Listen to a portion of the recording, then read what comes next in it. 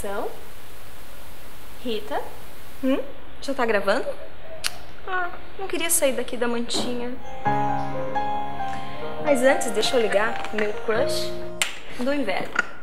Agora sim. Olá! No Saiba Mais de hoje, nós vamos falar a respeito de alguns cuidados para evitar incêndios residenciais. E olhe que as dicas são simples e fáceis.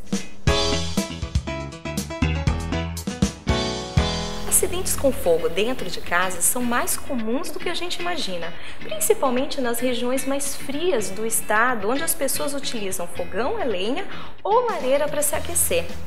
O problema não é o utensílio utilizado, é que uma pequena faísca pode cair no chão de madeira ou acabar encostando na cortina, aí sim causar um grande acidente. Então, para se prevenir, é bom você evitar e colocar uma base metálica entre o chão de madeira e o utensílio. Mas se você é como eu, que também gosta de um aquecedor, preste bem atenção, também tem que tomar cuidado, hein? E lembre-se, não deixe o aquecedor encostado próximo a cobertor, toalha ou qualquer tipo de pano. Eu sei que é uma tentação deixar ele quentinho, encostadinho na cama pra gente dormir. Mas isso pode causar um grande problema. E quem nunca deixou o aquecedor ligado no quarto antes de dormir ou no banheiro antes de tomar banho? Pois é, mas também são situações complicadas e é muito fácil acabar esquecendo o aparelho ligado.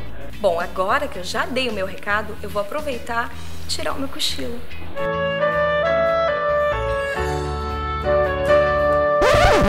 Mas antes de dormir, como eu falei, desligar o meu crush.